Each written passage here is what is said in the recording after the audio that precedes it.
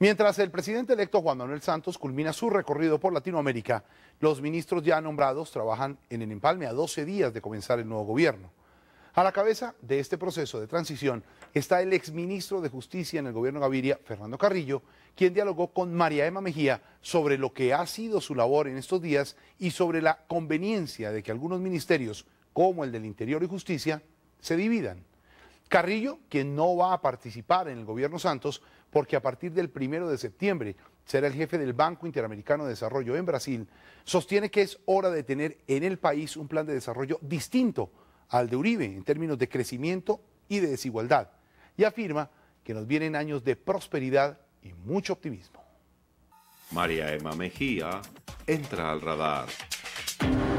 ¿Cómo es eso? ¿Cómo es coordinar un empalme? Yo pienso que la, apuesta del presidente Santos cuando me llamó fue una apuesta a que funcionaran las instituciones en el sentido de tener no solo un corte de cuentas, que es un poco lo que se ha venido haciendo en los últimos años, mostrando todos los logros del gobierno saliente, sino tener como una especie de rayos X de todo el sector público, una especie como de gran diagnóstico médico, digamos, sobre los signos vitales de la democracia a través de sus instituciones políticas, que nos sirva además para proyectarnos hacia adelante con base en los compromisos programáticos de la campaña del presidente electo, que van a servir además para convertir las promesas electorales en políticas públicas, que ese es el gran desafío que tenemos. ¿Cuánta gente es, Fernando? Somos un equipo como 90 personas. Yo tuve el privilegio de participar en unos países en la región latinoamericana, coordinando algunos empalmes.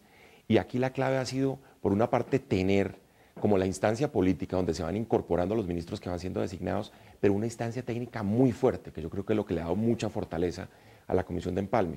Lo tradicional había sido que el ministro saliente, y en la mayoría de los casos el viceministro le entrega, entrega un sobre amarillo al ministro entrante y eso era el empalme. Aquí tratamos de decir, bueno, aquí primero hay que crear una tradición de que las instituciones funcionan, que hay una entrega técnica, que hay una evaluación de lo que viene, que se pone como una variable transversal, por ejemplo, los documentos programáticos de la campaña, las promesas electorales, se elaboran una serie de recomendaciones y opciones de política, tanto para el presidente como para los ministros centrales. ¿Es bueno volver a la división de los ministerios? ¿Es importante que separemos justicia interior, que separemos eh, vivienda y desarrollo de medio ambiente, que, volvamos a eh, salud y protección social desde su fundación? Yo creo que es totalmente sano en función de los resultados, de la transparencia, de la eficacia de las instituciones políticas, que esos ministerios cumplan una labor autónoma, señalen unos objetivos.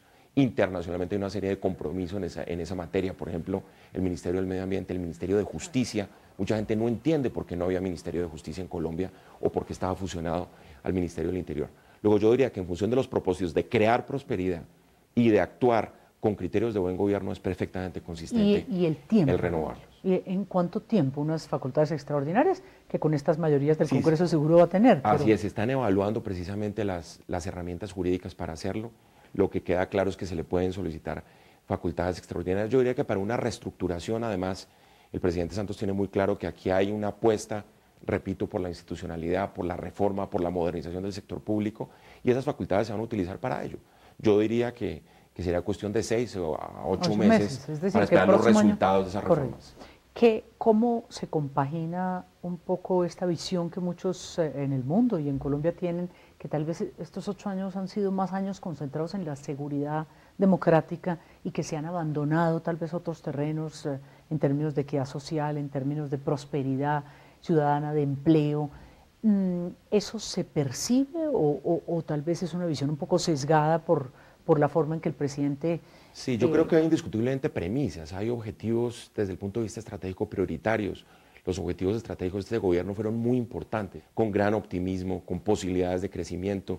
Tenemos, por ejemplo, el tema de la bonanza minera, que está a la orden del día. Es decir, hay una serie de circunstancias que permiten, como se ha dicho, que esa premisa que fue la seguridad democrática dio resultados y que es hora de comenzar a plantear una agenda distinta en términos de crecimiento, en términos de lucha contra la desigualdad. Y yo creo que ese es el propósito del gobierno del presidente electo. Eso no quiere decir separarse de la, de la proyección del presidente Uribe, pero sí un plan de desarrollo distinto. Lo que toca ahora es comenzar a, a proyectarse hacia el futuro en relación con los desafíos. En eso, por ejemplo, la Comisión de Empalme yo creo que ha jugado un papel fundamental, porque ha recogido la información que viene del gobierno de atrás, la ha puesto en el presente, pero la ha proyectado hacia el futuro, que yo creo que ese es el principal desafío. Pero esa visión regional, ¿cómo se ve Colombia? Si usted fuera a decir en una década dónde va a estar Colombia, o en ocho años probablemente que termine el gobierno de Santos y está dos periodos. Claro, yo creo que la apuesta al futuro es un poco de ganar tiempo. Yo creo que los violentos y, y toda la lucha guerrillera nos quitó muchos años del desarrollo.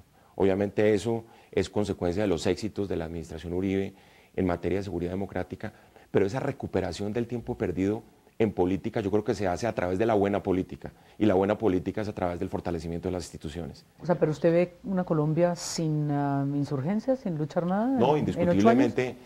Eh, yo creo que hay no solo pensar con el deseo, sino estamos seguros que por las acciones además de las Fuerzas Armadas, esa es la aspiración, que podamos pensar en lo que otros países de la región y los países desarrollados están pensando. Hay una gran reflexión. La entrada, por ejemplo, de Colombia a la OSD que es el, club de los grandes desde el punto de vista económico. ¿Tenemos chance?